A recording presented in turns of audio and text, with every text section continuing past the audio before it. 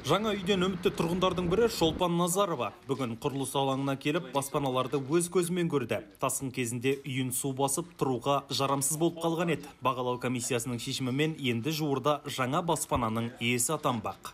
осы үй бұйырса деп тілеп тұрмын жаман емес жақсы нелері ұнап тұр өзіме бөлмелері кең жарық енді күтеміз тездетсе дейміз себебі жан жаққа кетіп қалдық қой енді пока үй жалдап жүрмін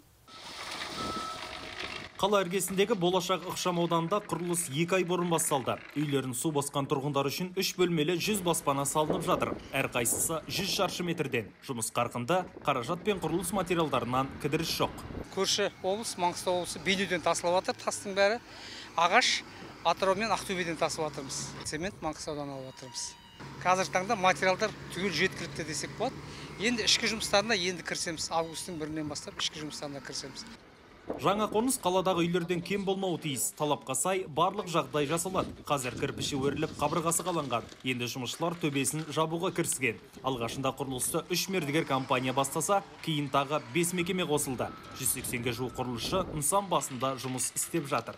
бірінші басталған сексеннен енді өздеріңіз білесіздер бұл маусым айының басында басталды бұны біз бірінші қыркүйекке дейін толықтай бітіруіміз керек қалған жиырма үйді қыркүйегінің айының аяғына дейін бітіруіміз керек адамдардың санын көбейтеміз уақытында бітіреміз деген жоспарымыз бар Тұрғын үй құрылысына Қазақстан халқына қорынан және жергілікті бюджеттен 2 миллиард 864 миллион теңге қаражат бөлінді. Әзірге жаңа баспананы алуға 28 тұрғын өтініш білдірген.